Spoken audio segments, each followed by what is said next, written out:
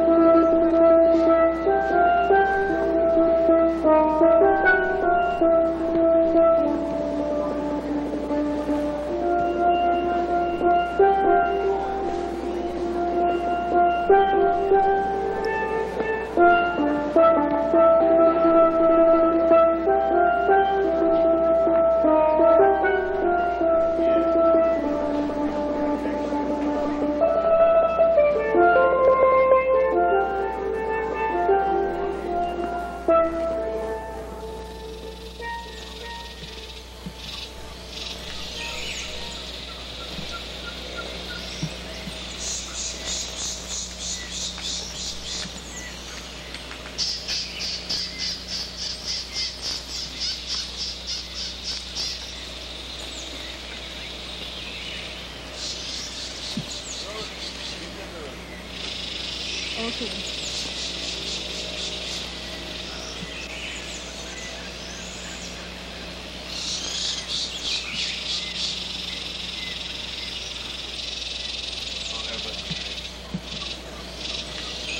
a field trip last year, I met with the bush medicine man Francis Morean. When I came back in March 94, I contacted him and he agreed to show me some herbs which he often uses to make his remedies. So we went to the woods of the northern range. For most people, what we have here are common weeds things which they will cut down, disregard, discard. Just most people say, oh, that's old bush, right? And I'm actually showing people a way that they can take this same old bush and convert it into uh, these medicines we have here, which can be of great healing value.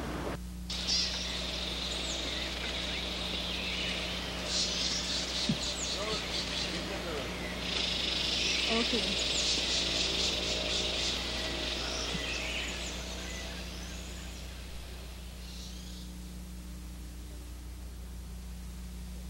This is the, the creeping marigold. It's called a creeping marigold because it, it makes a flower like a marigold and it creeps all over embankments like these, forming a lush carpet. And it's also called Vepin Caribe locally. And uh, it's used for coughs and colds. It makes a syrup. It's made from the flowers in particular, or from the leaves as well. And this syrup has to remove mucus from the lungs and from the bronchial passages. The tea from this plant is also very good for ladies. And uh, in Grenada, where this plant also grows, it's called Zebapham. Zebapham meaning a herb for women. Uh, it's very good for menstrual pain.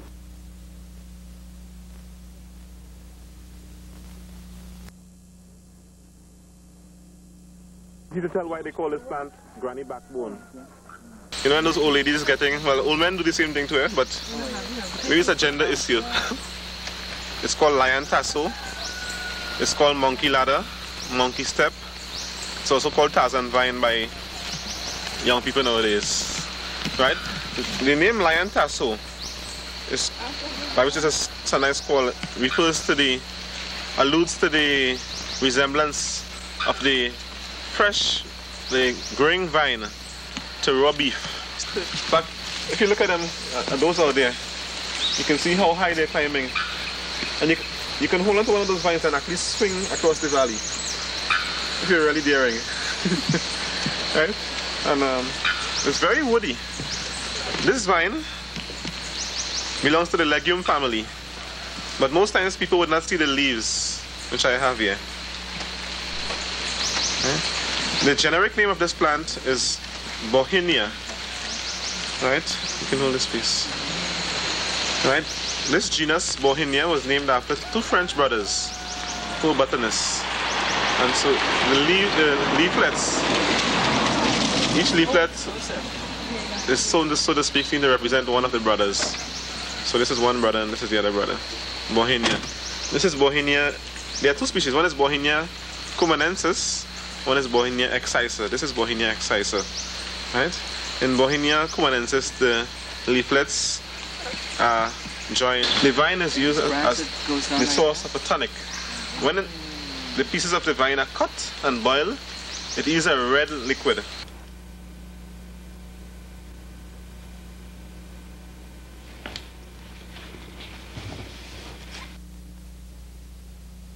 Okay, this, this plant is the matroot, known as matroot, or quasi mat, or wild treff. Okay, it's a bitter tasting vine with heart shape, sorry, well, heart shape please. Mm-hmm. Okay, and it's very often come, it's very often found growing along embankments like this. And the, the vine, this is just a young vine here, but the vine tends to run very high up the embankments and the roots go very deep into the soil. All the, the entire parts of this plant are very bitter, bitter tasting. In fact, there are some butterflies that lay their eggs on these plants.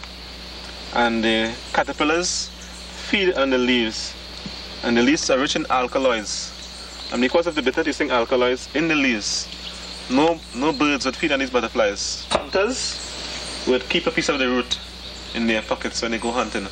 And in the event that they may be stung by a scorpion or bitten by a snake, they would chew the leaf as an antidote. Chew it and swallow it. Yeah.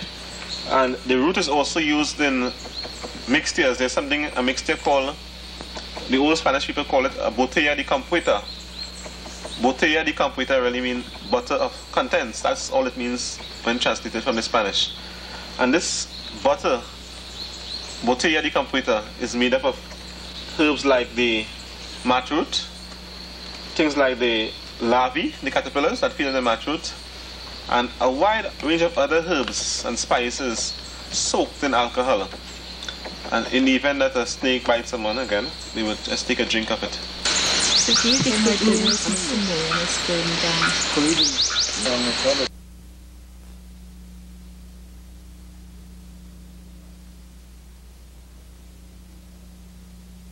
The annatto or roucou plant. Now the, the roucou or annatto is a small tree with, which makes very attractive flowers which we can see here. And these flowers are very popular among honeybees. The plant produces fruits in clusters like these, borne on the end of the branches or close to the end of the branches.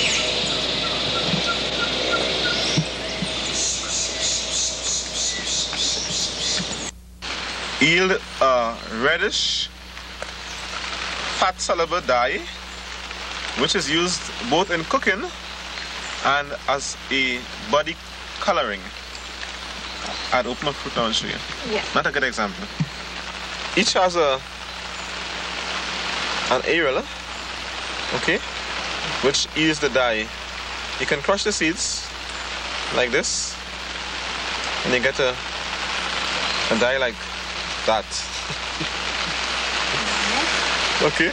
Now, when the uh, the Ameri- the uh, Europeans first came to the Caribbean, this dye that you see here, they they mixed the dye with other ingredients, and that extract was pasted pasted on the body as a insect repellent. So they wouldn't have to worry about the mosquitoes and the gnats in the Caribbean. Yeah, at Christmas time it's used in making pastels. It gives the pastel a nice rich color. It's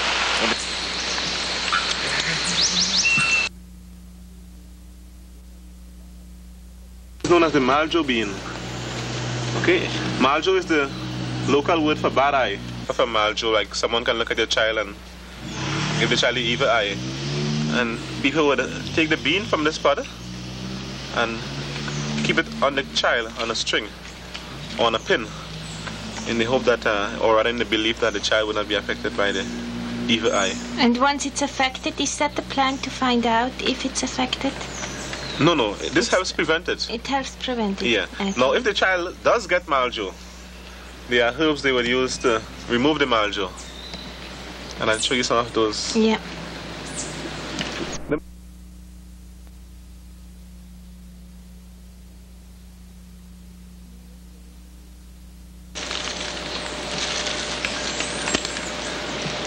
And now you show me the broom. Alright. So several several plants of the sweet broom are tied, collected and made into a little bundle.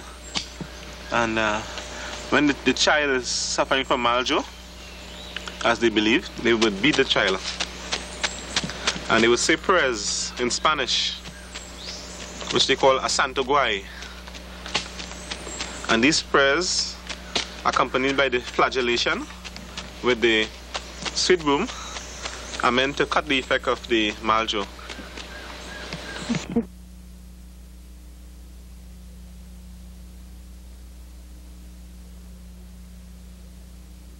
Not- this one is shado beni.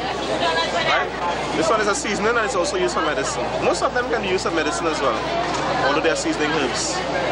Yeah, And you use the leaves, don't hmm? you? Yeah, they call it.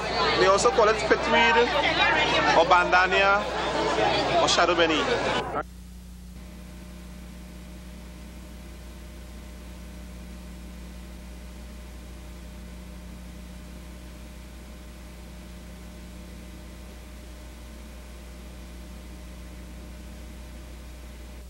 Okay. This this plant is called leaf of life or wonder of the world. It's called by those names because of the seemingly miraculous quality of the plant in producing young plants off the leaf. At the, along the leaf margin, young plants would emerge and these little points here. And very often school children would take these leaves and place a leaf in their exercise books or their textbooks. And, and the leaves would stay green for a long, long time, and then you can plant it, and it would make young, young plants. Back in Arima, at his herb shop, I asked Francis Morean to tell me how he got involved in this business.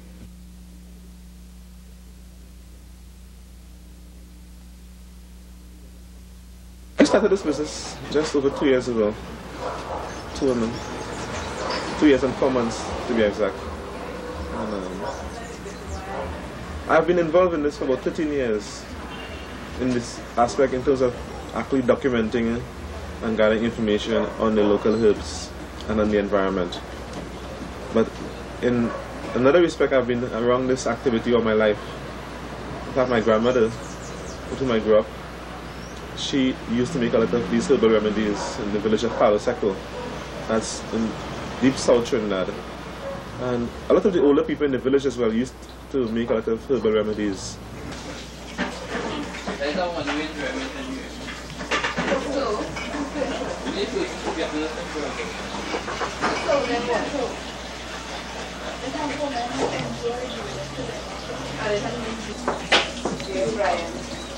If she knew, if when he come in, she just fuck her out and get out with it.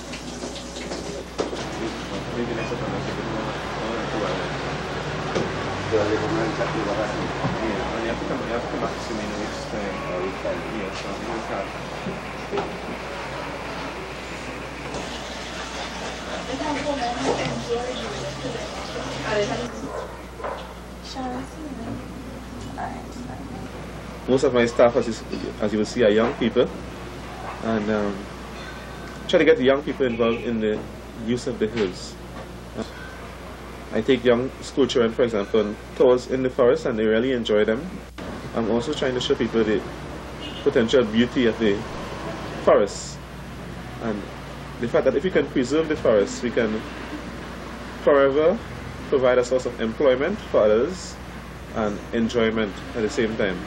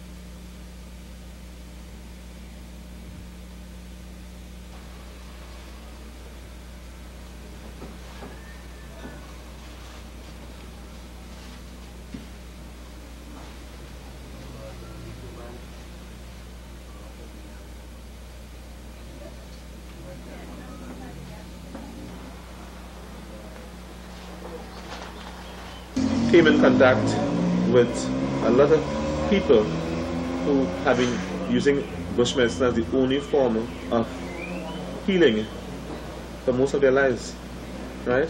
Apart from that, even while on campus, I would go out into the forest and, you know, the evening walks. I'll go to the city, you know, there are lots of old ladies in the, in the Port of Spain or San Fernando. Or almost every marketplace in Trinidad, you can find an old lady who makes herbal remedies. And I would go to these old ladies and I would interview them and get information from them about the use of the herbs. Uh, these ladies themselves began to encourage me to not just, I must, always insisted I shouldn't just be gathering all this information, I must make it available to others. So I used to write articles which I published in the newspapers, and then I began to sell them. So around 1986, 85, 86, 87, I used to sell in, Tunapuna, in the Tunapuna market. In fact, I used to sell herbs to finish my first degree at university. I used to go every week. And I really enjoyed it because it was one of the most enjoyable experiences to me.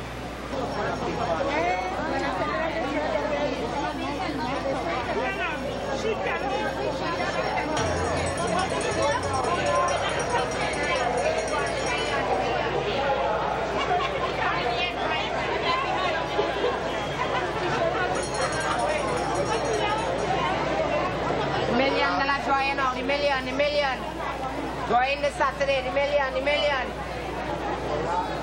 The million for Saturday, the million.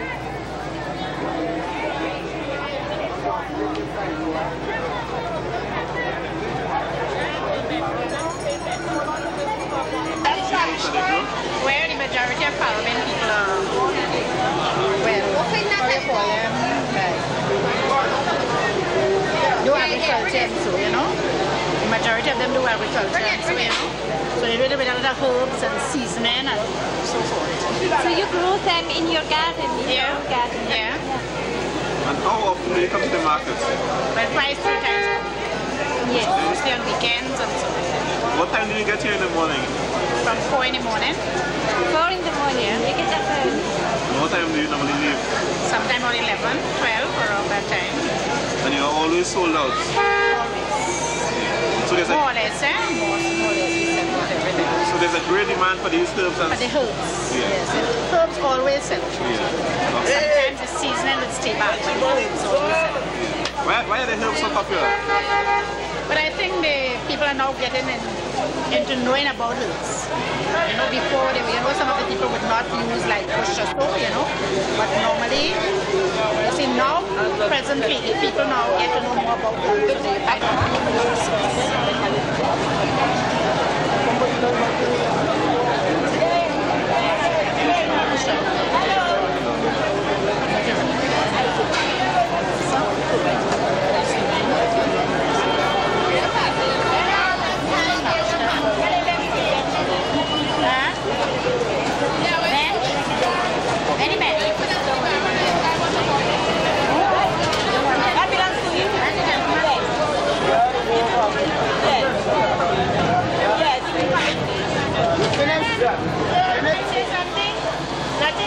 Whatever you wish.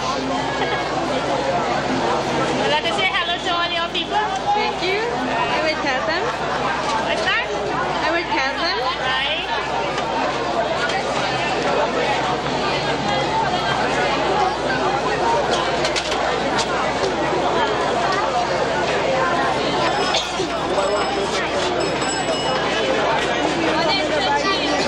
Oui. Bon, bon. Yeah, but I watch behind Watch behind you.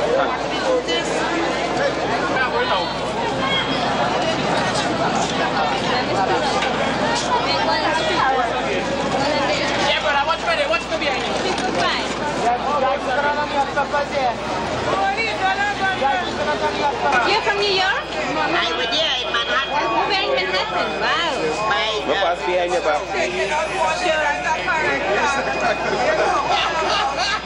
back. And what are you selling here? sal- celery.